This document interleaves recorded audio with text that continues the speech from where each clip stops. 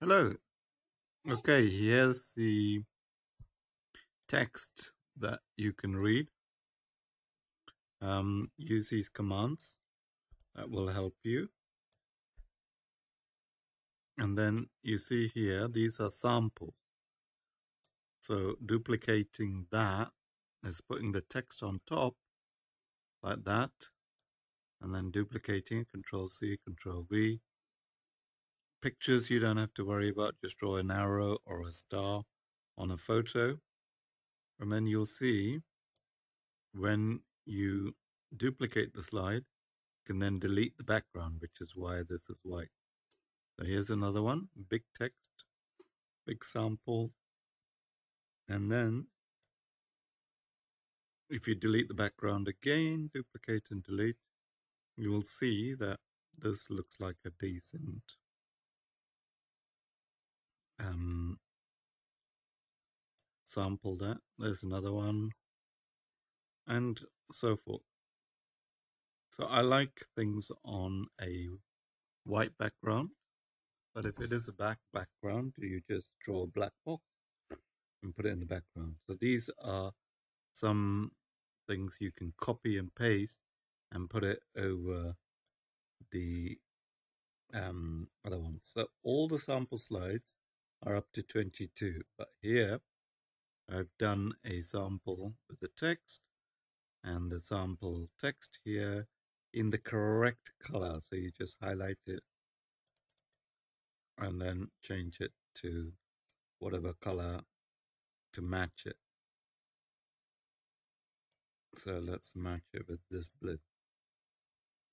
We got a picture there. So I put circle, star, or triangle, and then text here. So when we duplicate it, we basically have this plain one, which is meant to be a representation of this old one. Okay, and see how different it is? So this is another one. And if we put the text on, line it all up, use the arrow keys, left and right, line up the text as much as you can. Same sort of colors. This one, I've left it as red. But then, if we go to the next slide, you see here,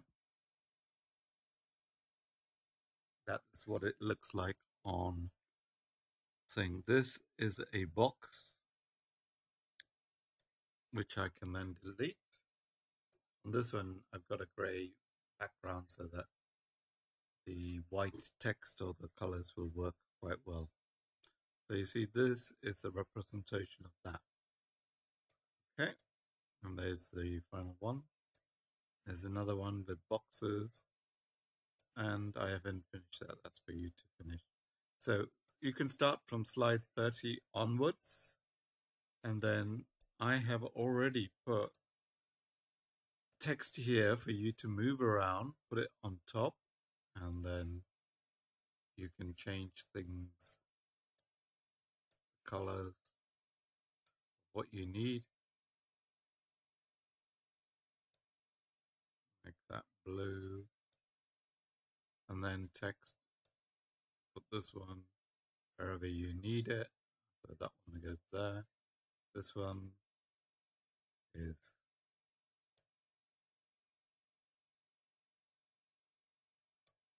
there and that one So the idea is to get, line it up as much as possible. Um, line it up there and text.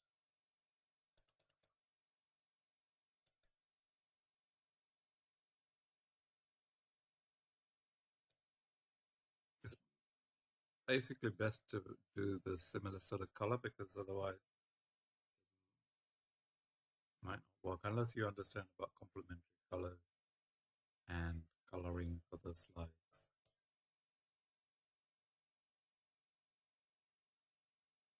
Line up on the top far left hand side. It doesn't have to be precise, but as much as you can. There's no shape there.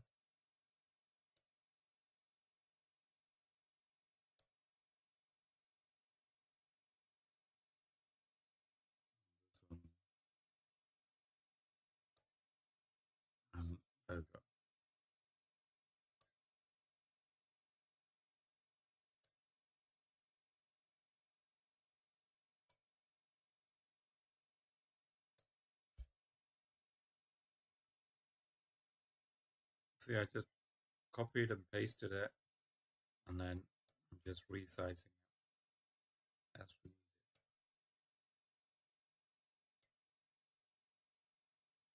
it. Uh, basically, also I could just duplicate this and do that. There's multiple ways of doing it. Well, as much as you can, text there, and then you just duplicate uh, delete the background you should. Some if you can't see the text you have to format the slide. Put a gradient fill on or something. Just to see what it looks like. There you go. That would be our representation Okay, I hope you understand. And that's all you have to do. Go through all of these slides as much as you can. I've already put text. You just need to put it into alignment and put create the shapes as required and put different text. Once you've done the same sort of text, you'll see that that can be probably copied to another slide later on. Boxes, shapes, and so forth. And there's about 129, but basically remember the first 30 are the samples. So here we would be trying to duplicate this. I said if there's a photo, just insert a star or a shape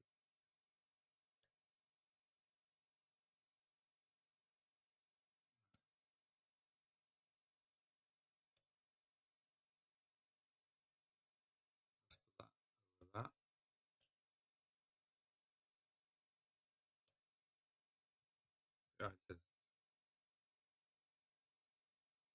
duplicate that.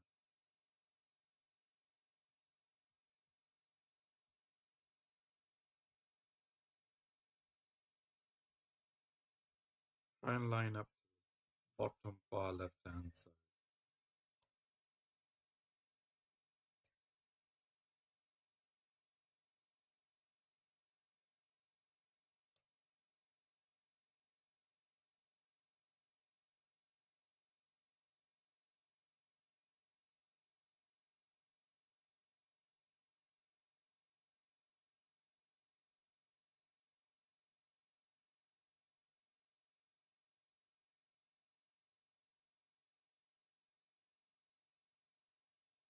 There you go. Okay, so you try and finish last